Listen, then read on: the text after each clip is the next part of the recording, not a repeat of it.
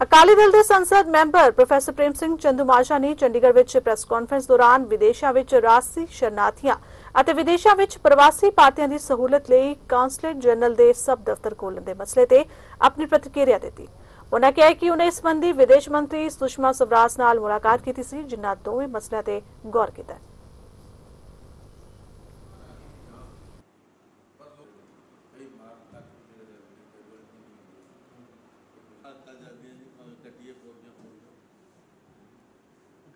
ਉਹਨਾਂ ਨੇ ਖਾਸ ਤੌਰ ਤੇ ਲਾਏ ਸੀ। ਪਰ ਹੁਣ ਤਾਂ ਵਜ਼ੀਰ ਜਿਹੜਾ ਨਾਲ ਸਾਥੀ ਹੈ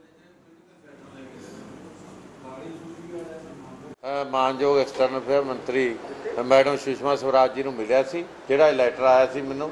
ਉਹਦੇ ਸੰਬੰਧ ਦੋਵੇਂ ਮਸਲਿਆਂ ਦਾ ਉਹਨਾਂ ਨੇ ਹੱਲ ਕੱਢ ਲਿਆ ਕਿ ਜਿਹੜੇ ਤਾਂ ਰਾਜਸੀ ਸ਼ਰਨਾਰਥੀਆਂ, ਉਹਨਾਂ ਨੂੰ ਤਾਂ ਭਾਰਤ ਆਉਣ ਲਈ ਉਹਨਾਂ ਨੇ ਕਾਨੂੰਨ 'ਚ ਸੋਧ ਕੀਤੀ ਕਿ ਉਹ 2 ਸਾਲ ਲਈ ਭਾਰਤ ਆ ਸਕਣਗੇ ਐਟ ਅ ਟਾਈਮ ਤੇ ਉਹਨਾਂ ਤੇ ਜਿਹੜੀਆਂ ਕਾਨੂੰਨ ਦੀਆਂ ਬੰਦਸ਼ਾਂ ਉਹ ਰਿਲੈਕਸ ਕਰਤੀਆਂ ਜਾਣਗੀਆਂ। ਦੂਜਾ ਜਿਹੜਾ ਹੈ ਸਬ ਹਾਊਸ ਖੋਲ੍ਹਣ ਦੀ ਗੱਲ 40 ਸਬ ਹਾਊਸ ਅੱਡ ਅੱਡ ਕੰਟਰੀ ਦੇ ਵਿੱਚ, ਅਮਰੀਕਾ ਵਿੱਚ ਤਾਂ ਇੱਕ ਤੋਂ ਕਈ ਜ਼ਿਆਦਾ ਨੇ, ਕੈਨੇਡਾ ਜ਼ਿਆਦਾ ਨੇ, ਸੋ ਕੁੱਲ 40 ਸਬ ਹਾਊਸ ਖੋਲ੍ਹਣ ਦੀ ਤਜਵੀਜ਼ ਭੇਜੀ ਆ।